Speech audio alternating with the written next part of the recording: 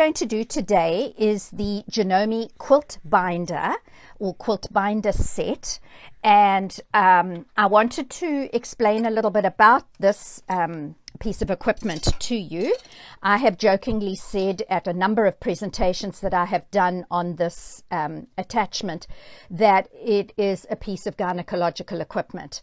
Um, they security at Vancouver Airport did in fact ask me on one occasion if I was a doctor when I was going through security on my way somewhere and I had this in my hand luggage. Well, needless to say, I told her that I was, uh, I taught sewing. She didn't believe me. Any event, this uh, Janome quilt binder set is available for Janome 7 millimeter machines and Janome 9 millimeter machines.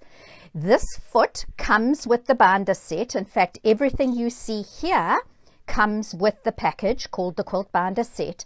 And this is the foot for 9 millimeter machines, and this is the foot for 7 millimeter machines.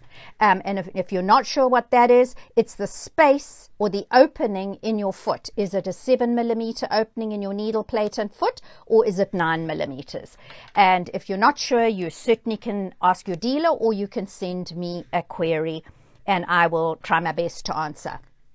Okay, so what comes with the package is the foot, um, a base plate, a uh, gynecological equipment or the actual binder attachment, and three screws. One screw is longer than the other two. And what I want to do is put this foot onto the machine. Um, I am incidentally today sewing on the uh, Janome M7, the Continental M7, just because it's here and I love it. Um, I do have several other machines here because I'm busy taping an awful lot of things, but this is the one that I've chosen to work on. This quilt binder, as I've already said, can be used on any machine that has a rectangular bobbin cover. Um, it doesn't matter whether your machine is 7 millimeter or 9 millimeter. And if you have a square shaped bobbin cover, unfortunately, this quilt binder will not work with your machine. But most of our machines have this rectangular shaped bobbin cover, even as far um, down the line as the Janome 2030. You can use this quilt binder on that machine. So I've taken the bobbin cover off because the base plate has got a little bobbin cover on the back of the base plate. And we are going to put that onto the machine uh, as the bobbin cover and I'm going to take the long screw, the one long screw and screw it into the needle plate. Now I could turn it at an angle and screw it in like that, but I happen to prefer the uh, straight on angle. And then what we do is we take the uh, binder attachment and we attach it to the base plate with the other two screws. And I'm not going to tighten those screws completely at this point because I may move this binder a little bit from side to side when I've got the machine set up. Now I have just a small little quilt sandwich here because you don't want to watch me going all the way around a queen size quilt uh, today. Um, so it works exactly the same. I've done this on queen size quilts, king size quilts, you name it. In fact, from cutting my binding strips, let me see if I can get this in the camera. All right, cutting my binding strips to uh, folding up a finished quilt with the um, binding already applied to the quilt. I can do that in 45 minutes. Um, I can do it in a little longer maybe an hour and a quarter, possibly an hour and a half if I machine sew my binding on with the traditional double fold binding, which I sew on the back of my quilt, flip over to the front, and then stitch the binding down on the front. This method is different. This method applies your binding to the quilt in one go. So why I have got this here is I want to show you uh, how I join my binding strips. So I've put it on this piece of fabric here and you can see that I have laid my two binding strips at right angles to one another and you may or may not where you are see the stitching but I did stitching at a 45 degree angle. I like to place my uh, binding strips like that because I can see exactly where to start and exactly where to end. If I was to place them directly over one another, I wouldn't be able to see that. And now all I do is I just trim off that little edge bit and there I have it. Now, if I was doing this um, under normal circumstances and not on an Instagram live, I would probably take this over to uh, the ironing board and press my um, binding, uh, the, my seam but I'm just going to finger press it, finger press it here because it, it, it's quicker. Right, I am also not going to press that seam open because if I do that, when it goes through the binder, it's going to flip the seam towards the back of the binder anyway, so why bother? I am now going to feed the binding strip into the binder with the wrong side facing me. That's really important, otherwise your binding is going to be sewn to your quilt with the outside, the, the wrong side of the binding facing outwards. And as you can see, as it goes through the binder, this is facing, the seam is facing towards the back or the end of my binding strip. And so that will just, it, it'll just go with the flow of the binder. And now what I'm going to do is I am going to feed the fabric into the binder. Now you can cut the end of it at a 45 degree angle if you wish. I don't normally worry too much um, because I find it quite easy to get it through with a pair of scissors or even a pin, a pair of tweezers. Any of those sort of things will get it through the binder. And you will see now that what's happened is the binder attachment has folded the raw edges of my strip towards the wrong side and now I am going to put my quilt into what I call the mouth of the binder and that goes in there. I always like to start somewhere down one of the sides of my uh, quilt, not at a corner. That's my preference. Um, and I am now just going to tighten those screws a little. Um, you probably want to know, and I'm just going to look at the at my cell phone quickly to see if there are any questions to this point. Um, can you use the Wide Cover Pro on your 15,000? That is an exceptionally good question. Um, you're talking about the tape binders for the Cover Pro Absolutely. This particular quilt binder set comes with a 50 millimeter, 15, 15 millimeter to 50 millimeter measurement or um, in, in inches, which is kind of what I prefer to work in, um, it, you, you cut your binding strip at two inches. And then when it does its folding over, your finished binding on your quilt is half an inch. If you use the the binder attachments that come with the Cover Pro, or they don't come with the Cover Pro, let me correct myself, they're optional accessories to the Cover Pro um, serger. Um, there are three, and they give you finished binding of a 3 eighths of an inch, 4 eighths of an inch, which would be exactly the same as this, and 5 eighths of an inch. So the question was, could I use that wide one and get a wide binding of 5 eighths of an inch? Yes, you can. However, you still need the base plate that comes with this package because the base plate that fits on the Cover Pro does not fit on the 15,000 or any of our sewing machines. It has got a completely different configuration. But once you have both the base plates, you can mix and match the actual binder attachment. Um, can I zoom in nearer the needle? Yes, I can certainly do that. Um, right, hopefully that's better for you. And yes, I've answered. You cut the binding strips two inches. You can cut them one and seven eighths inches, but quite frankly, I just find it easier to cut them two inches. And uh, here we go. Now, the next thing I want to tell you is that uh, I mentioned earlier that we had the nine millimeter foot that comes with a package and the seven millimeter foot comes with a seven millimeter package. But I actually quite like using the AccuFeed Flex feet. Now, obviously, these will only work on a machine that has AccuFeed Flex. The M7 has it, and a number of our other machines have it. This is the AccuFeed Flex Wide. Um, or dual prong. This is the single one, and this is our HP2, which only does a straight stitch, but all, it also has AccuFeed Flex. And all of these feet I have got very used to using. My advice would be don't start out using these feet if you have them with your machine. Rather use the one that comes with the package, the quilt binder package, because you, I, I the, the reason is that there's a certain distance between the front of the foot and the edge of the binder. And those other AccuFeed feet come closer to the edge of the binder, and you might find it a little difficult um, when you are learning this um, quilt binder. Now, I do need to mention to you uh, the uh, quilt binder set is um, the the quilt binder set. What was I going to say? I lost my train of thought there. Anyway, we'll get. Uh, it'll come back to me in a minute. Um, We've got that on the machine now. Now we need to select the stitch we're going to use.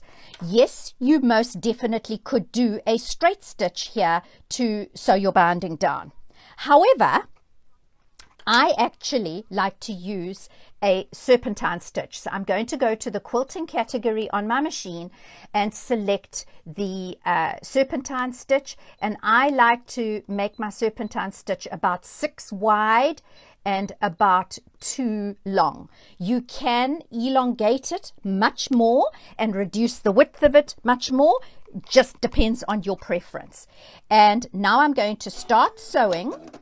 And you might wonder why I am using a yellow thread in my needle. It's just a yellow cotton thread. It's because I want you to be able to see the stitching on the red binding fabric. If I wasn't using that, then you might have a little bit of an issue. So uh, when we are doing normal double find, uh, double double fold binding, um, we uh, stop a certain distance from the corner because we're then going to um, fold our binding and make that little mitre. In this particular technique, it's different. You do not stop before you get to the corner. You're actually going to continue right to the edge of your quilt. And then I'm going to raise my needle and I am going to raise my presser foot. And now I am going to pull the binding through the binder to the back. And I have a finger pressing tool. You can use your fingernail if you want. Um, and I'm using a finger pressing tool to finger press my binding strip as it came out of the binder. Now I'm going to take that a fair distance because you'll see in a moment I need a little bit of wiggle room with my binding. Why did I take it out to the back? Well, because you do not want the binding tape to come out of the mouth of the binder. If it comes out of the mouth of the binder, that's a little tricky to fix. So what I now do is I put my presser foot down so that it's holding my binding in place. I pull long tails and cut these tails off. So let's bring this round here and I'm going to keep those those threads, the tails from the first side of my quilt, simply because I find that easier to get going on the second side when you have tails to pull. And now what you do is you are going to manually fold the uh, binding, uh, fold a little mitre into your binding. Now, I'm going to show you in a moment. I'll get my fingers out of the way in a moment. You are only going to pin through the top layer. You're not going all the way through the quilt because this is only your mitre on the top of your quilt. On the back of your quilt, you're going to need to do the same thing. So on the back, you're going to come by now and you're going to fold your little mitre again and you're going to get it positioned how it should look. and again you're going to take the pin and pin it in place. When you're happy with what the miter looks like on the back and the miter looks like on the front, you are ready to do what I call the paper bag for hyperventilation. All right, this is probably the trickiest part of using the quilt binder. And I am going to tell you something, you may not like to hear it, but if you have got a quilt binder and you've never used it or you tried it and gave up after one or two tries, please know this is a technique that requires practice. You would be shocked if you saw the first little quilt that I bound using this quilt binder.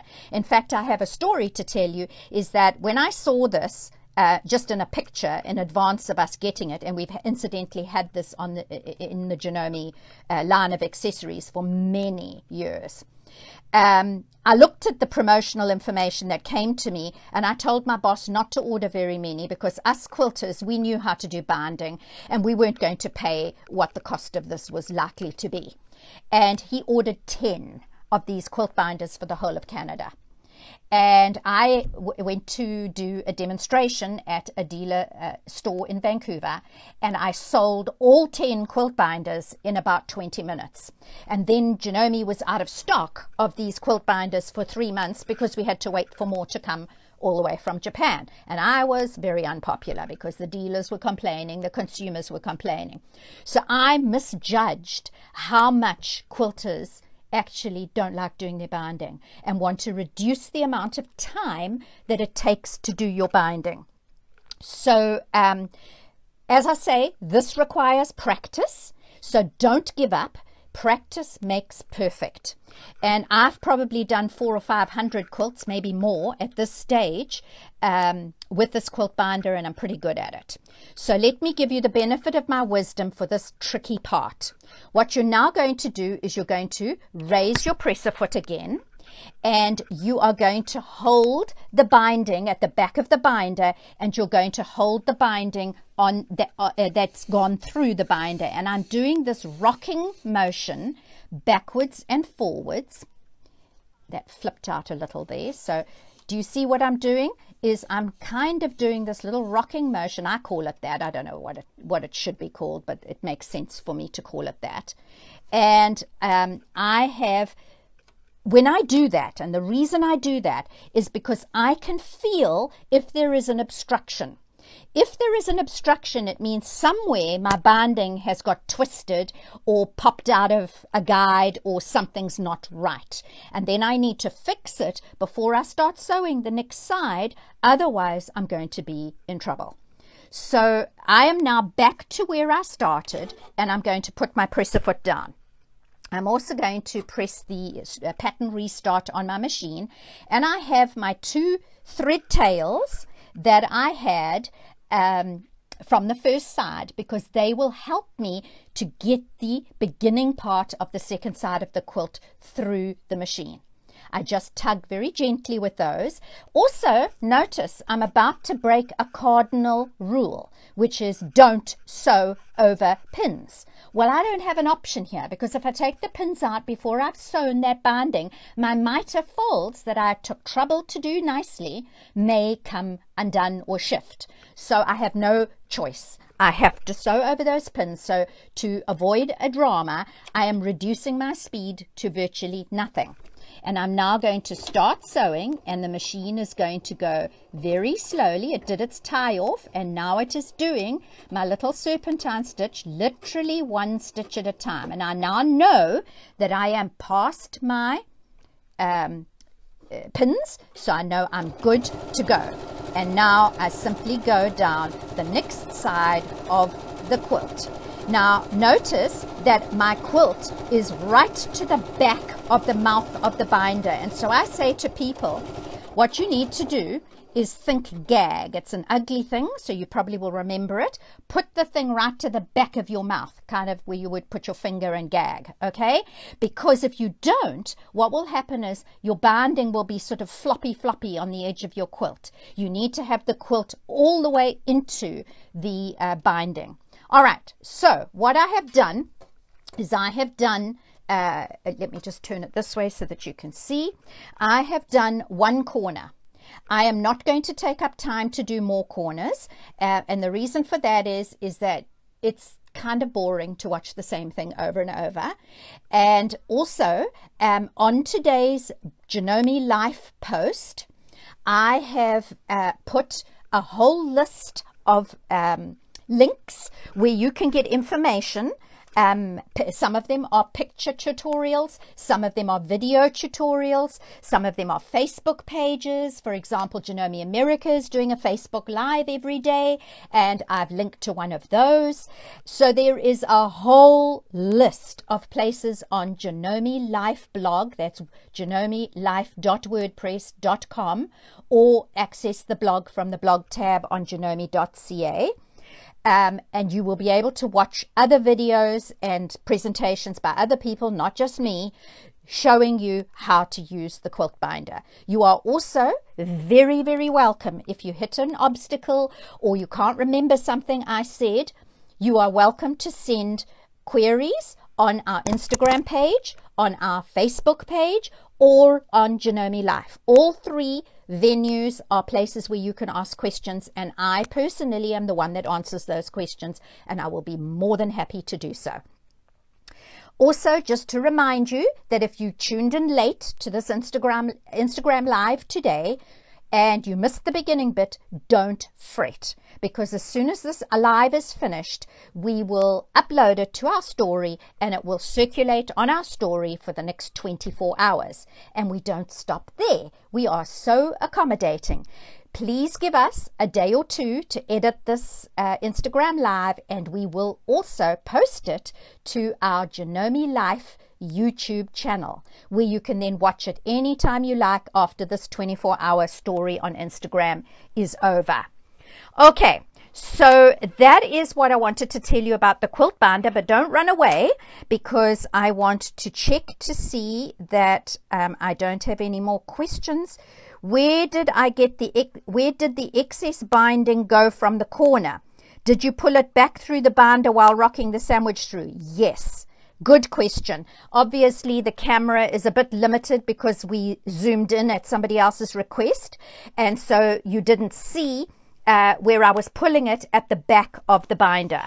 Um, I also didn't show you this tape stand um, because I wanted to show you how I join the um, uh, tails or the, the strips of binding, I didn't put it on the tape stand. So let's bring it over here to the camera and uh, let's see if you can see it. Well, never mind. I will post a picture of it on um, Janome Life. Uh, I will add it to today's post so that you can see it.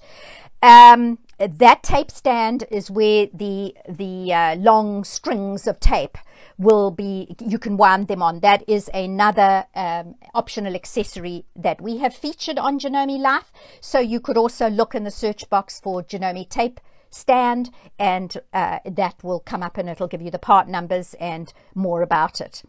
Um, so yes, that why is it not a straight stitch? Well, you can do a straight stitch. I did mention that earlier in this Instagram live. I prefer to do a decorative stitch because I find straight stitches boring.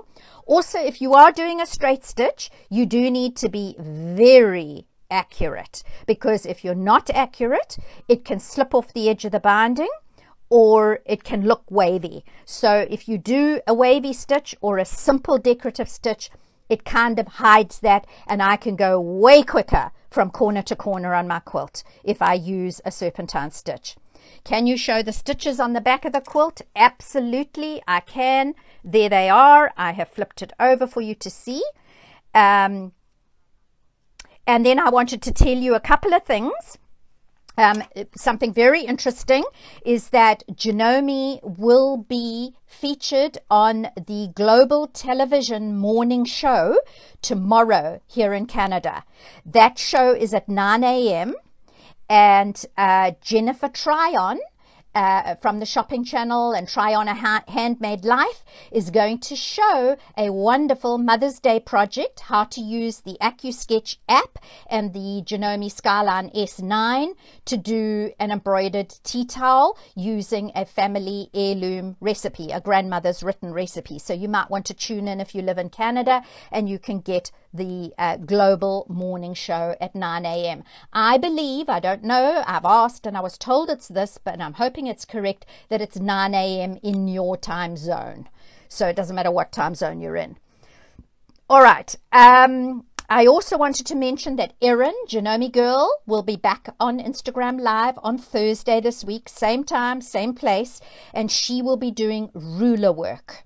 Janome ruler work. So if you want to learn how to quilt with a ruler, that uh, will be um, on Thursday. The other thing I wanted to mention is that our dealers are all working really hard, many of them behind closed doors, but they are answering their, answering their phones, they are returning uh, emails, uh, replying to emails, and we have a drop ship sale on at the moment um, where you can call your dealer and we will ship the machine direct to your house and you can get it at your door. You do not even need, need to leave your house or get out of your PJs if that's what you, you're living in at the moment. Um, the other thing is, I did want to mention that after the global TV show tomorrow, uh, there will be a special deal on the S9, the Skyline S9, and you can contact your Janome Canada dealer to get details of that special deal. Okay, thank you very much for watching. I hope you found this beneficial. And as I said, do go to Janome Life uh, today um, uh, because all there are many more resources and videos that I have linked to there so that you can see more about how to use this quilt binder set. Thank you. See you again soon.